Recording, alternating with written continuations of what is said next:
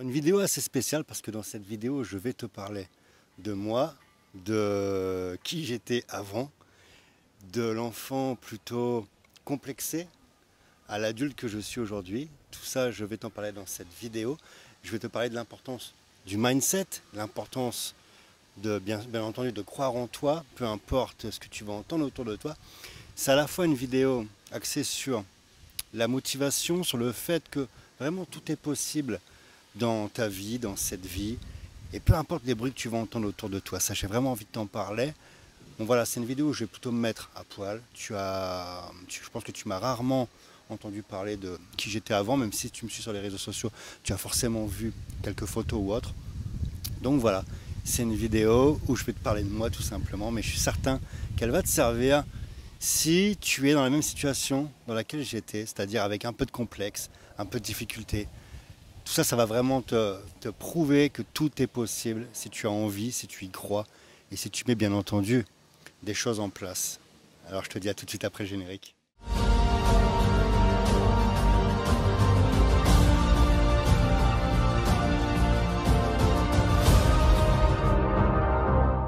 Alors dans cette vidéo, je vais te partager des photos, des photos de moi enfant, des photos de moi adolescent. Tu vas voir un peu à quoi je ressemblais euh, physiquement. Je ne suis pas en train de te dire qu'aujourd'hui j'ai un physique parfait, loin de là. Je me ressens et je ne me crois pas du tout parfait.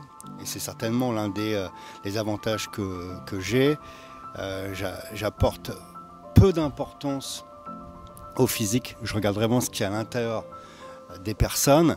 Mais parfois, quand on ressent une sorte de complexe, je pense qu'il est important de travailler dessus. Il y a des personnes qui vont te dire que euh, ça ne sert à rien d'être complexé. Moi, je pars du principe que si on a un complexe, on va essayer de travailler ce complexe, on va essayer d'améliorer pour se sentir bien tout simplement. Parce que le but, c'est pas d'être parfait, personne n'est parfait, on est euh, on n'est jamais parfait de toute façon. Et puis il y a des personnes à qui on va plaire, des personnes à qui on ne plaira pas forcément. Donc ça, c'est si tu cherches à plaire à tout le monde, je pense que c'est un jeu qui est perdu, euh, perdu d'avance. Le principal, c'est d'être bien et euh, d'aimer son regard dans le miroir. Ça, c'est très important. Alors, pour te faire un peu le topo de la, situation quand j'étais gamin, j'étais rempli de complexes. Je me sentais, euh, oui voilà, c'est le terme complexé, hmm, peut-être même mal dans ma peau, même si je ne voulais pas le laisser paraître. Je pense qu'il y avait un mal-être chez moi, euh, dû à mon physique dû à mes, euh, mes petits défauts. Mais encore une fois, ces petits défauts qui m'ont servi, qui m'ont permis d'être celui que je suis aujourd'hui avec beaucoup d'humilité, beaucoup de... Euh, peut-être cette, euh, cette capacité à exprimer ce qu'il y a à l'intérieur de moi, justement à cause de tous ces défauts physiques, cette sensibilité aussi, le fait d'avoir vécu beaucoup de moqueries lorsque j'étais gamin, lorsque j'étais petit, qui ont fait qu'aujourd'hui j'ai certainement un bon sens de l'humour, mais sans jamais chercher à blesser les gens. Et, voilà, euh, la petite parenthèse. Euh, cette vidéo va durer pas mal de temps parce que je vais vraiment t'expliquer le ressenti, euh, comment j'étais à l'époque et pourquoi j'étais justement, on peut dire, certains disaient rachétique, donc ou rachitif, excuse-moi, c'est tellement. je suis pas sûr du terme, si c'est rachétif ou rachétique. Alors la situation, pour que je te l'explique, Ma mère est tombée malade lorsque elle était enceinte sur les deux derniers mois de grossesse. Elle a attrapé une infection et je suis donc né avec la salmonellose. Je ne suis pas un spécialiste, je ne suis pas médecin, je ne vais pas revenir sur la maladie, mais c'est quelque chose qui, euh, qui peut être assez grave chez le nourrisson. Moi, dans, dans mon cas, ça s'est bien passé parce que je suis ici. Euh, donc euh, ma mère a perdu du poids en fait tout simplement les deux derniers mois de grossesse, les deux derniers mois qui sont très importants chez l'enfant où normalement c'est là où tu prends un maximum de poids. Ben, moi en fait j'ai perdu perdu du poids. Je suis né, on peut pas dire que j'étais euh, au top de, ma forme. et avec une alors donc la salmonellose, je me vidais tout simplement, je pouvais rien avaler pendant les premiers mois de naissance. On appelle ça une infection prénatale. Et donc, euh, suite à ça, j'ai également une, intolérance au lactose. tout ce qui est produit laitier, tout ça, je peux pas. Ça tient pas, quoi. Pour faire simple. Alors, Ce qui fait que j'ai eu un physique pendant mon enfance. J'étais assez petit et très maigre. Jusqu'à mes 20, euh, je ne sais pas de bêtises, 25 ans, je pesais 54 kilos. Alors attention, je ne suis pas en train de te dire qu'aujourd'hui je suis fier de mon physique, que mon physique est parfait. Euh, surtout vis-à-vis de mes amis qui sont dans le bodybuilding, qui sont sportifs, qui eux aussi ont réussi de belles transformations. Euh, qui eux montent sur scène, ils font du bodybuilding, etc., des, compétitions, euh, ils ont vraiment des physiques extrêmement massifs, c'est leur choix, moi j'ai pas cette volonté-là, d'ailleurs j'ai pas cette... Euh, j'ai pas la volonté de mes, de, mes amis et du, du, du, comment dire, du, du bodybuilder en général, c'est-à-dire d'être capable de manger 6 à 8 fois par jour, de s'entraîner, d'avoir cette volonté. Moi perso, je suis pas câblé pour ça. J'aime bien me faire plaisir en fait. J'aime bien manger des trucs même parfois assez euh, trop sucrés. Bref, j'ai pas cette, euh, cette volonté de faire qu'ont les, les pratiquants de body. Euh, dire, de nombreux amis qui sont dans ce sport. Et ça, c'est quelque chose que je respecte. Et eux savent un peu comment je suis. Je suis plutôt du genre bon vivant. Mais moi, ce qui m'intéressait, c'était de réussir à transformer ce physique. C'est-à-dire, lorsque j'étais gamin, de, de, on va dire de, de, de 6 ans jusqu'à mon adolescence, euh, je le vivais assez mal. Je le vivais assez mal parce que j'étais complexé.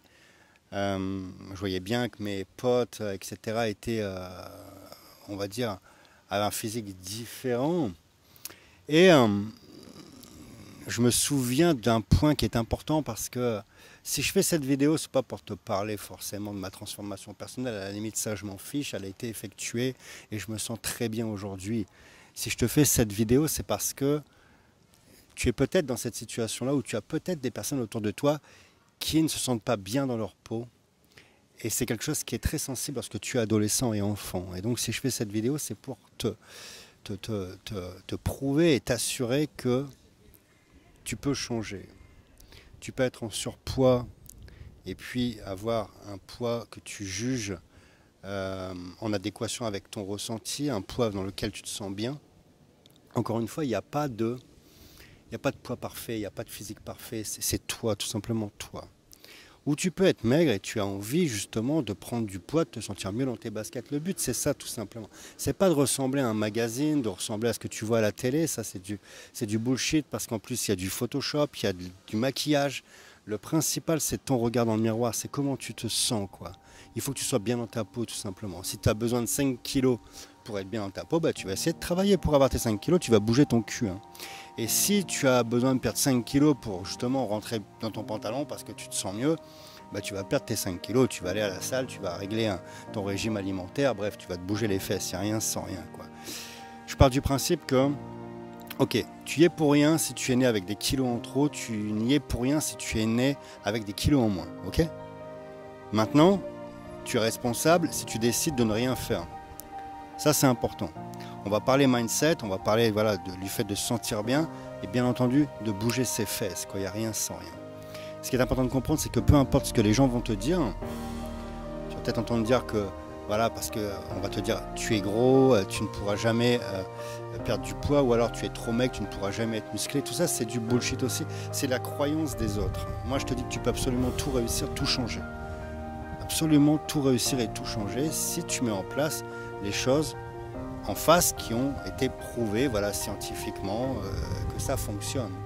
L'activité physique va te donner du muscle ou va te permettre de perdre du poids. Un régime alimentaire réglé va te permettre de prendre du muscle, prendre de la masse ou justement de, euh, de perdre du poids. C'est aussi simple que ça. Il faut casser ces croyances où on va te dire, moi on me disait étant gamin que voilà, t'es mec, tu resteras maigre toute ta vie. Quand je me suis mis à la musculation, tout le monde rigolait et me disait, voilà pourquoi tu vas à la musculation, t'es pas fait pour ça. Et puis quelques années après, quand ils ont vu la transformation physique, leur regard a tout de suite changé.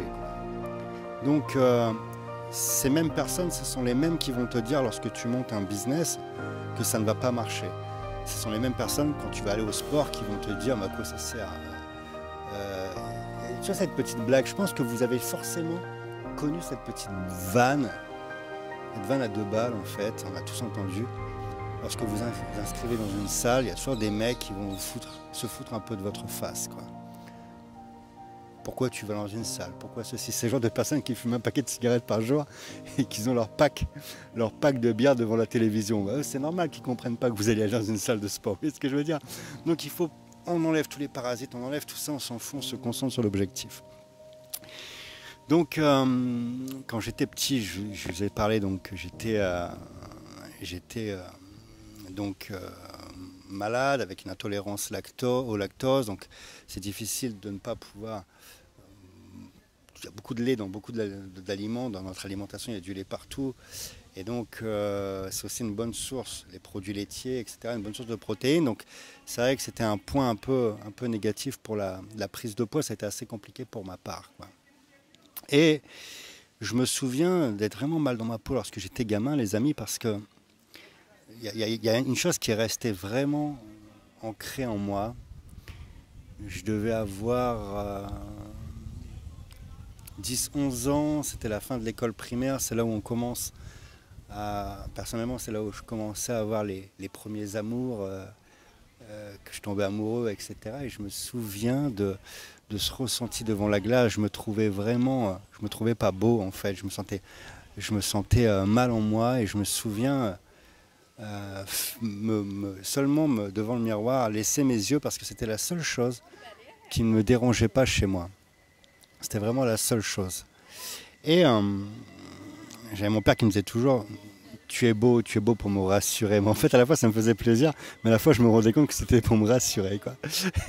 Et ça, c'est extrêmement important si vous êtes papa, si vous êtes maman, si vous êtes parent, c'est de donner confiance à vos enfants. Peu importe si votre enfant est en surpoids, euh, s'il a des défauts physiques, etc., vous devez sincèrement donner de la force à votre enfant et lui donner confiance. Quoi. Et puis ensuite, les années, euh, il y a eu les années collège. Alors ça, c'est des années assez sensible parce qu'on est dans un âge où les enfants sont assez moqueurs, même très moqueurs. Donc, euh, c'était assez compliqué. Mon entrée au collège, je l'ai assez euh, plutôt mal, mal vécu la première année parce que voilà, j'étais, j'étais face à de nombreuses moqueries. Et ma manière de répondre à ça, ça n'a pas été forcément la bonne. La manière de répondre à ça que j'avais trouvé, c'était d'être une personne qui perturbe les cours. Une personne aussi bagarreur, comme ça, s'il y a une moquerie, ben, j'avais tendance à répondre immédiatement par la violence. En fait, je, me, je pense que je me protégeais, je cherchais à, à ce qu'on pense que voilà, j'étais quelqu'un qui était un peu fou, c'est-à-dire perturbe les cours, euh, assez bagarreur. Comme ça, c'était ma manière de me protéger. Quoi. Et puis aussi, euh, ouais, perturber les coups, essayer de faire rire un maximum pour plutôt cette, euh, une ambiance, euh, voilà, bon enfant, enfin comique, quoi. Je, je pense pas que c'était forcément la bonne méthode, mais c'est ce que moi, à l'époque, je pensais.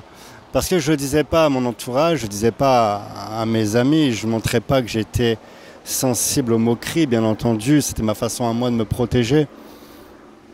Je ne dis pas que c'était un bon choix, mais c'était euh, de cette façon, la façon que j'avais trouvée pour me protéger. Quoi. Et puis ça a été assez, assez compliqué également euh, à l'époque euh, où c'était les, voyais mes camarades, mes copains qui avaient leur première relation amoureuse. Moi c'était très compliqué, j'en avais pas d'ailleurs à l'époque. Mais je développais, comme quoi il y a toujours un point positif les amis dans, dans ce que vous traversez comme je me rendais compte que j'avais peu de chance de, séduire grâce à mon physique, je faisais un gros effort au niveau de ce que je ressentais. C'est-à-dire, euh, j'étais plus du genre à écrire, à, mettre sur papier ce que je ressentais, à écrire des lettres, etc. Donc je développais cette sensibilité à écrire pour essayer de séduire, pour justement combler ces lacunes que j'avais physiquement et donc ça m'a permis de me rendre compte d'une chose. Et là, je te parle si tu es justement un adolescent, et que tu es dans cette situation. La vie est vraiment bien faite, la nature est vraiment bien faite. C'est que généralement les personnes belles très tôt, les garçons beaux très tôt, ils ne sont pas habitués forcément à faire d'efforts parce qu'ils peuvent séduire facilement euh, leur partenaire. Mais la nature fait bien les choses. C'est généralement, si tu regardes bien dans ton passé, si tu regardes bien euh, tes camarades de classe, euh, les beaux gosses de l'époque, c'est pas forcément les beaux gosses d'aujourd'hui. Idem pour les, les, les, demoiselles, quoi. Souvent, tu as des personnes qui sont vraiment très jolies au collège, etc. Et plus on avance dans le temps, et ben, c'est des personnes que tu remarquais pas, qui, ont tendance à se bonifier avec le temps. La nature fait bien les choses. Et surtout, tu vas travailler sur cette sensibilité, euh, hmm, tu vas développer tes points, euh, des points différents. Quoi. Tu vas pas jouer sur ton physique en fait, tu vas jouer sur ce qui est à l'intérieur de toi. Et avec le temps, tu vas te rendre compte que plus tu avances et plus on se fout en fait du physique, on se fout de la beauté d'une personne. Ce qui nous intéresse, c'est la beauté intérieure. Et plus on avance dans le temps, et plus voilà, on est moins sensible. On peut avoir, on peut rencontrer de très belles femmes physiquement, et puis se rendre compte que mentalement il se passe rien et elle ne nous intéresse pas. Et vice-versa avec les hommes. Vous pouvez euh, rencontrer des hommes qui sont parfaits physiquement, des, modèles de magazines, et puis lorsque les femmes discutent avec, elles échangent, il n'y a pas de connexion. Quoi. Mais après, voilà, il y a plein de points différents. Il y a des personnes qui sont attirées uniquement par le physique, il y a des personnes qui sont euh, euh, intéressées par la beauté intellectuelle. Il y a plusieurs sortes de beauté. Quoi. Mais le principal, c'est d'être bien dans sa peau, bien dans ses baskets. Alors moi, je me suis mis au sport. Je me suis mis au sport tout simplement pour prendre du poids. Je voulais à l'époque prendre... Euh, j'étais à 54 kilos, je voulais dépasser les 60 kilos. Une fois que j'ai dépassé les 60 kilos, je me suis dit, euh, voilà, j'essayais de passer les 70 kilos, etc. C'est étape par étape. Il ne faut pas vouloir non plus se transformer, c'est-à-dire, si vous avez du poids à perdre, il ne faut pas viser 30 kilos de perte. Quoi. On y va étape par étape toujours se mettre des, objectifs réalisables. C'est-à-dire si vous avez une perte de poids, on part sur une perte de poids de 5 kg pour commencer. Si vous avez une prise de poids, c'est pareil. On part sur une prise de 5 kg. Étape par étape, et puis vous, euh, vous voyez vos résultats. C'est toujours très intéressant de, voir la progression, de réussir ces objectifs qu'on se met en face. Quoi. Et hum, j'ai envie de vous parler de l'importance de ne pas abandonner durant euh, cet objectif parce que la vie va vous tester. Comme n'importe quel objectif, les amis, ça se passe comme ça. Moi, je me souviens, je me suis euh, mis à la musculation, je me suis entraîné directement avec des gros potentiels, c'est-à-dire un ami euh, qui faisait pas plus de 2 mètres pour 126 kilos, donc très massif. Et pour les pratiquants de musculation, c'est simple tout le monde passait la barre des 100 kilos avec qui je me suis entraîné. Et je me souviens à un moment, on était deux débutants. Et le débutant en face de moi était un petit peu plus fort. Il était un petit peu plus, euh, enfin même, était physiquement plus fort que moi. Et puis sur la barre, ça se ressentait quoi. Et je me souviens avoir eu envie d'abandonner parce que je voyais que je, bon déjà j'étais le plus faible du groupe j'étais le plus faible euh, et j'avais cette impression. Voilà, c'est pas quand vous êtes un, leader en vous et puis que vous reprenez une activité où vous êtes le plus faible. au niveau de l'ego, c'est un très gros travail aussi, quoi. Un très gros travail. Et puis je me souviens avoir eu envie d'abandonner. On était en train d'effectuer un sauna entre amis et puis j'aurais dit bon écoutez j'arrête les mecs. J'arrête parce que voilà je suis plus faible et la progression voilà elle est minime. Je me sens comme une merde j'ai ce ressenti-là, donc je vais arrêter. Quoi. Et là, comme quoi l'importance de votre entourage, l'importance de vos amis, l'importance d'avoir des personnes qui vous poussent. Et là, je me souviens de cette phrase de mes potes qui m'ont dit Tu es quand même en train de pousser 70 kilos au développé couché. C'est pas tout le monde. C'est pas tout le monde qui porte 70 kg. Quelqu'un qui n'a jamais fait de sport, il porte pas 70 kg, à moins vraiment d'être une minorité de personnes. Ou généralement, ceux qui vont vous dire, lorsqu'ils vont sous une barre, qui portent déjà 80-90 kg, ils vont oublier de vous dire qu'ils en font déjà chez eux. Mais généralement, 70 kg, c'est pas tout le monde qui porte 70 kg sans avoir jamais fait de musculation. Et donc, ils m'ont reboosté. Ils m'ont dit, tu vas pas arrêter, viens avec nous, etc. Tout en même temps, je me mettais à poil, donc je avoué ma faiblesse. Et j'étais bien accueilli. J'étais bien accueilli par mes amis. Ils m'ont reboosté. Et je peux vous assurer que un mois après cette envie d'abandonner, j'ai eu ma transformation physique. Il a fallu un mois. j'allais abandonner les amis. Et en fait, un mois après, je me souviens me regarder dans la glace et voir que mes pecs étaient en train de se développer. J'étais arrivé à 90 kg développé couché. Bon, j'ai progressé. Et je voyais le changement. Je commençais à prendre du poids. J'étais passé de 54 kg, j'étais à 65 kg. J'avais vraiment commencé à transformer mon physique, à avoir plus de. Voilà, avoir enfin le résultat de mon travail. Donc là, c'est extrêmement important ce que je veux t'expliquer là. C'est que tu vas avoir forcément dans ton objectif une envie d'abandonner parce que ça va être compliqué. Et c'est ce que je dis toujours, c'est à ce moment-là que la vie va te tester. C'est quand tu es sur le point d'abandonner que tu es, à bloc. Quoi. Généralement, quand tu arrives là, c'est que tu es arrivé à un point critique, tu sens que c'est extrêmement compliqué de progresser, tu es, à bloc et il n'y a pas forcément de résultat. Et en fait, c'est en insistant, c'est en insistant que tu vas l'obtenir. Tu à peut-être ça de ton objectif, donc n'abandonne pas, tu à peut-être ça de ton objectif. Donc c'est extrêmement important d'insister. Le sport, c'est une très bonne école. Pourquoi je, suis toujours en train de te parler d'entrepreneur et de, sport, de business, d'athlète? Parce que c'est infiniment relié. C'est totalement relié. J'ai remarqué, c'était une très bonne école pour moi parce que j'ai démarré le cyclisme à l'âge de 6 ans. Et donc avec le physique que j'avais, j'étais moins fort. J'avais une faiblesse par rapport aux personnes de mon âge. Je courais avec des personnes qui avaient déjà 12 ans, euh, des poils aux jambes des... et une barbe comme j'ai là, je t'assure, à côté de moi et je faisais euh, une trentaine de kilos, quoi. Tu vois ce que je veux dire? Donc il y avait une grande différence de, de physique. Je vais pas te dire que j'étais le plus fort, j'étais loin d'être le plus fort, mais par contre, par rapport à mon physique, le rapport poids-résultat, j'étais le plus faible physiquement et je luttais avec des personnes qui étaient beaucoup plus musclées que moi, beaucoup plus fortes que moi. Pourquoi? Parce que j'avais développé ce mindset. Je me faisais mal, je me surpassais physiquement.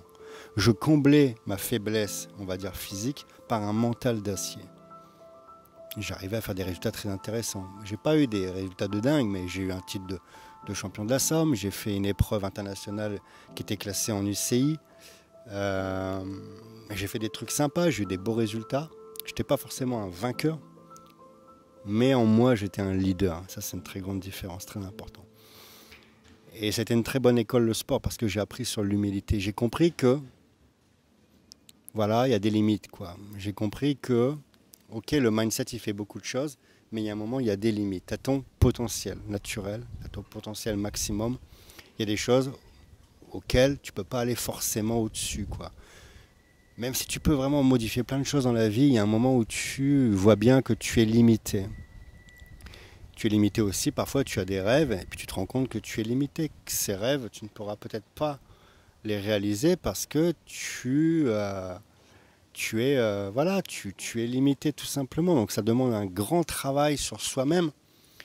C'est une grande humilité aussi de se rendre compte que voilà, tu travailles à fond, tu, vraiment tu fais plus que les autres, tu t'entraînes. Moi c'était ma façon de faire, je m'entraînais une heure avant les autres et puis je finissais une heure avant les autres. Je me faisais, je comblais euh, mes lacunes tout simplement grâce au travail.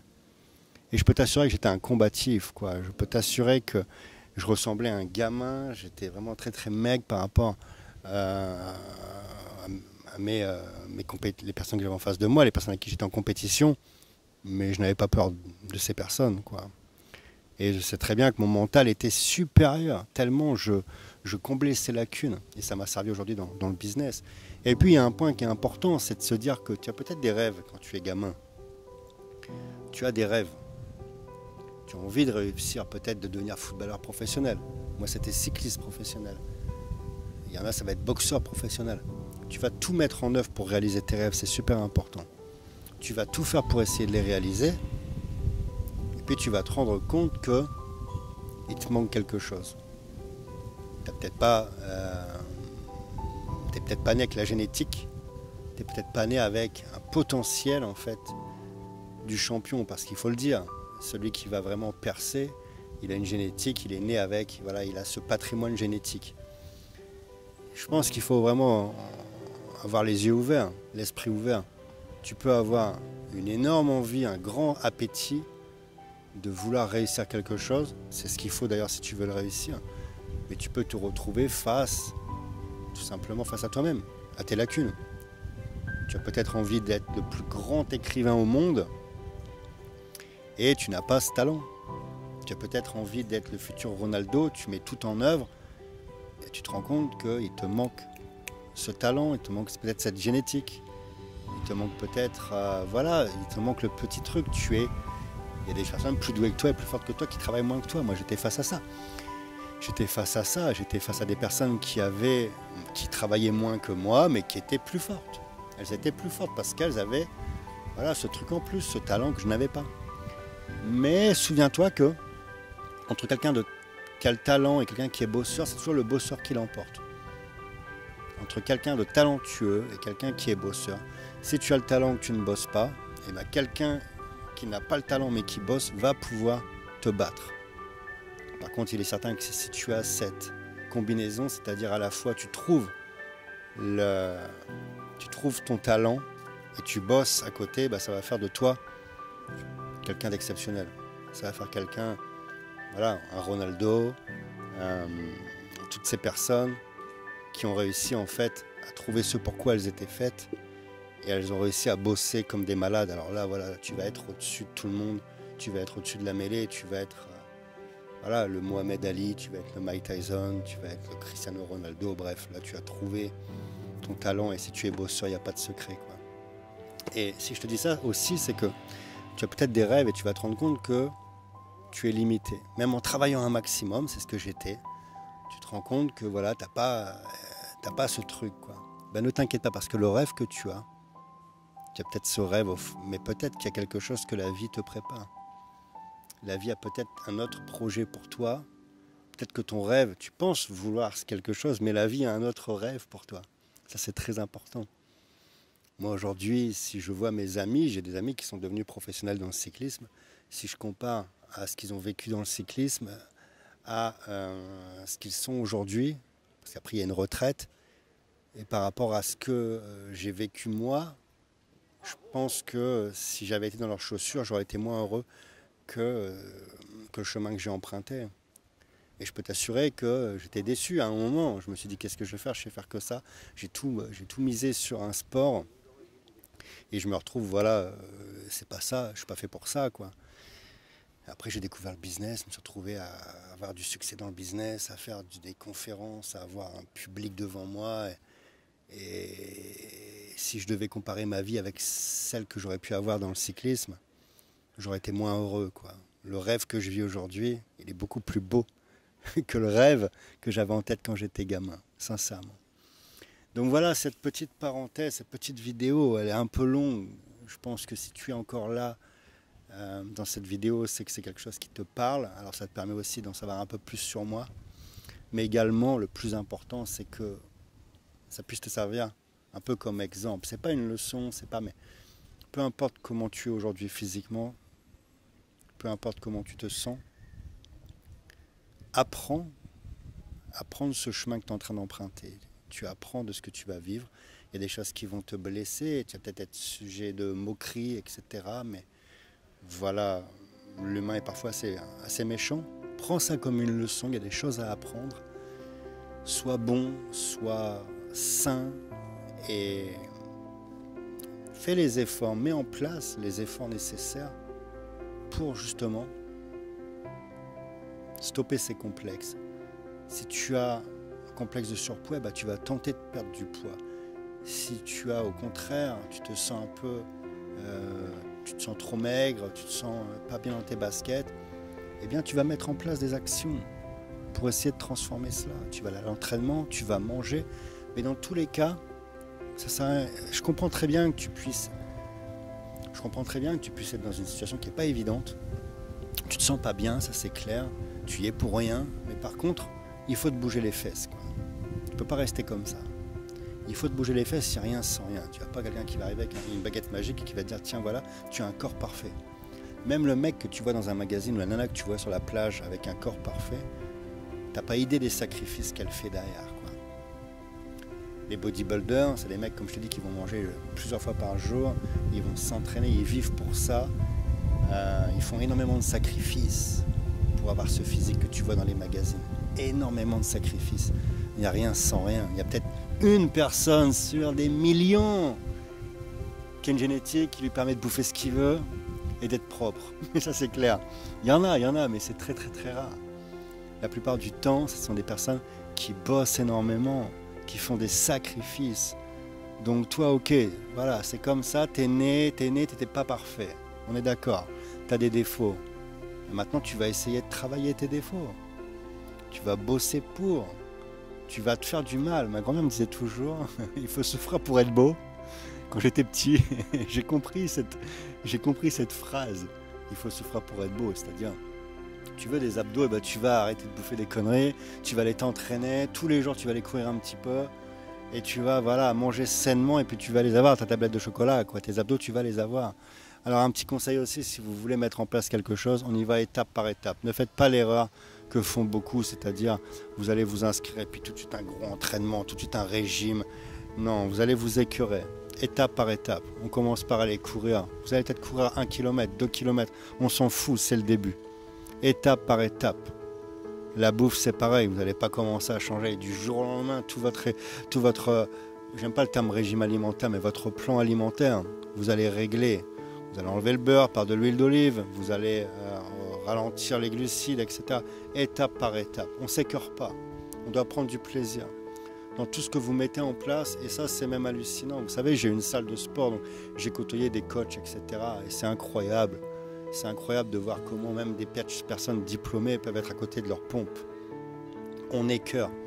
Une personne qui est en surpoids ou une personne qui est trop maigre et que vous voulez absolument... Euh, elle arrive dans une salle, vous lui posez un programme alimentaire assez complètement différent de ce qu'elle mange, un entraînement 4 euh, séances d'une heure et demie alors qu'elle n'a jamais pratiqué de sport, vous allez les écœurer, c'est étape par étape. Le moteur n'est pas prêt, donc on va rôder le moteur. C'est le point le plus important. C'est le rodage. On va démarrer par voilà, de la marche, on va commencer à courir étape par étape. Et dans 3 ou 4 mois, il va y avoir une transformation incroyable. Mais évitez de vouloir aller trop vite, vous allez vous écœurer. C'est le problème de beaucoup de personnes. Ils veulent des résultats tout de suite. C'est la patience, c'est en mettant en place des choses et on, perd. Il faut essayer de perdurer, c'est en, tentant de cette durée dans le temps où vous allez obtenir de vrais résultats. Donc voilà, j'espère que cette euh, vidéo va vous intéresser. N'hésitez pas, bien sûr, à commenter, liker. Ça m'intéresse d'avoir votre retour. Et surtout, je termine avec cette phrase. Bien entendu, ta réussite, tu la mérites, mais, mais surtout, peu importe la situation dans laquelle tu es, tu peux absolument tout transformer. Tu peux te transformer. Si ton mental est là, si le mindset est là, tu peux faire des choses de dingue. Je vais te mettre des photos aussi de personnes dans ma salle qui ont eu des transformations grâce à ma salle de sport. Des personnes qui étaient vraiment très, très en surpoids, qui s'en trouvaient très bien, et d'autres qui étaient plutôt rachitifs ou rachetiques, je sais pas le terme, qui s'en trouvaient avec un beau physique. Quoi. Donc voilà, tu lâches rien, tu travailles ton mindset et tu bouges tes fesses. Allez, ta réussite, tu la mérites.